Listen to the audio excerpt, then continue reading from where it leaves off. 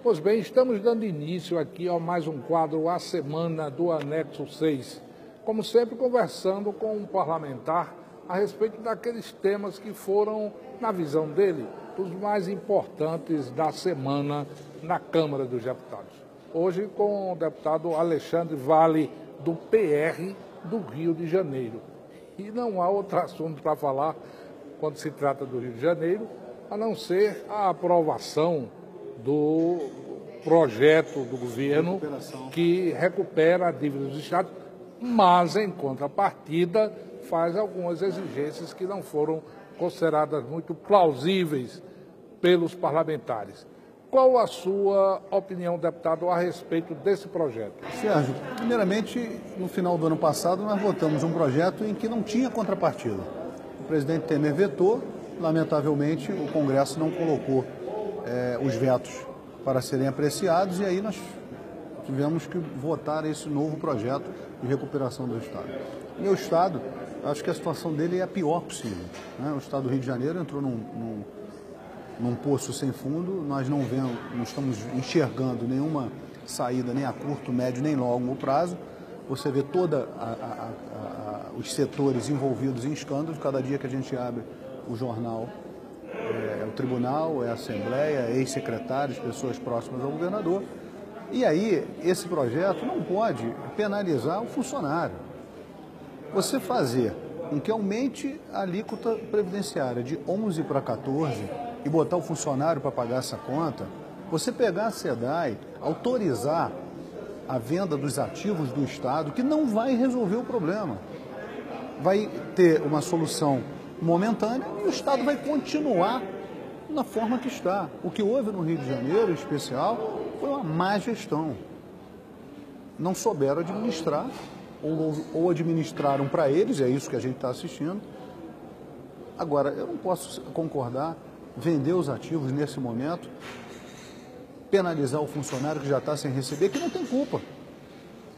Transferir o fundo é, do judiciário para o Estado, penalizar a justiça porque administrou bem o fundo, enquanto o Estado administrou mal o seu recurso.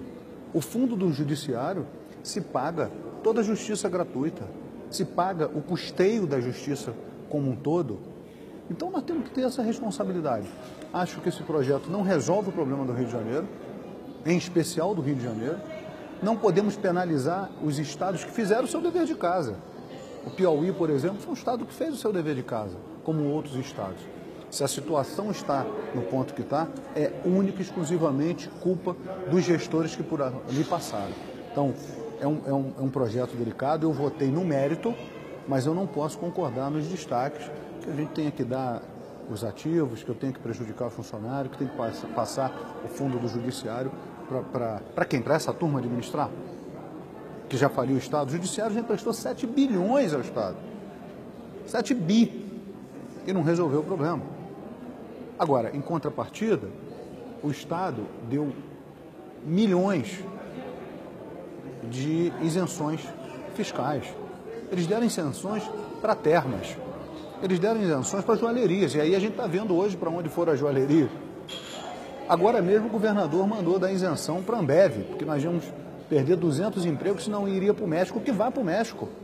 Não é o momento de dar 600 e poucos milhões de isenção para que a gente possa garantir 200 empregos e os funcionários que estão sem receber. E a polícia que daqui a pouco pode parar. A violência tomou conta e assolou o Estado. Então nós estamos vivendo um momento crítico. Projeto é, que o governador acha que é a solução, eu não vejo dessa forma.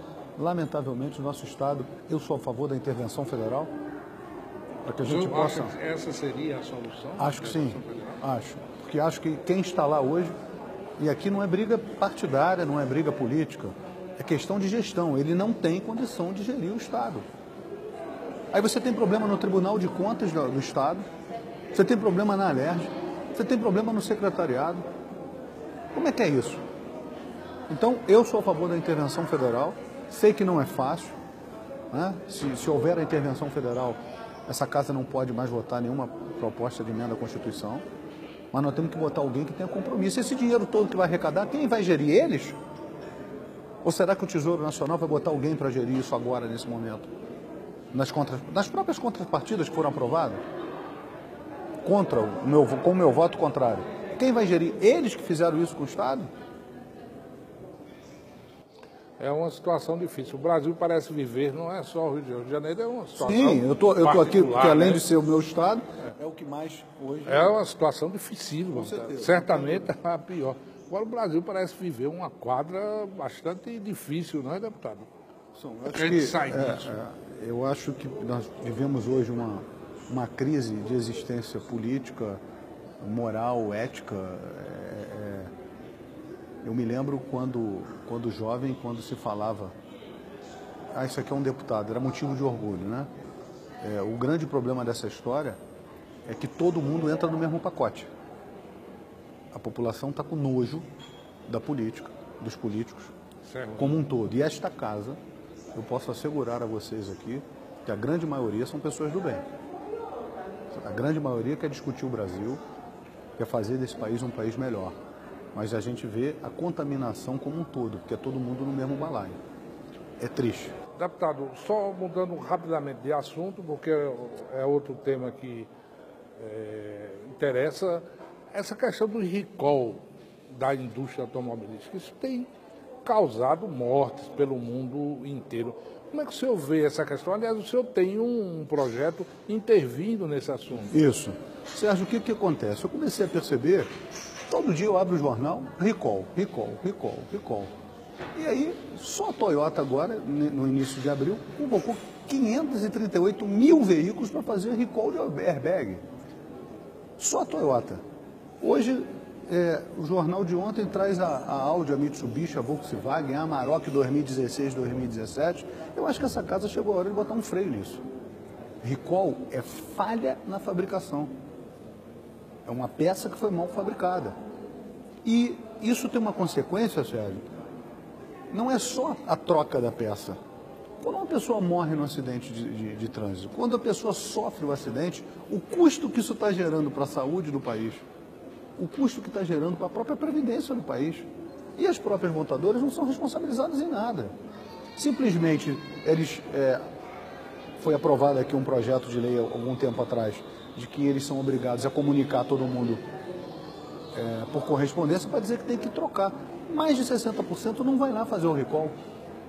Então o que nós queremos é, é discutir o assunto com as montadoras, com os fabricantes, com os revendedores, é, com, com, as associações, mas essa casa precisa ter uma, uma atitude enérgica. Eu penso em, em, em, Eu tive a informação que em Minas Gerais tem um promotor que, se o veículo entrar em recall, ele pede imediatamente um liminar, suspende todas as vendas daquele veículo no estado enquanto não, não realizar o recall. É, é razoável. Sim. Então, o que nós, nós queremos fazer é estudar o assunto e parar o veículo entrou em recall, não pode ser transferido, não pode fazer seguro, não pode vender, as concessionárias não podem vender, o Detran não pode transferir, para que a gente possa dar segurança ao usuário. Até porque você viu no caso, vou te dar um exemplo.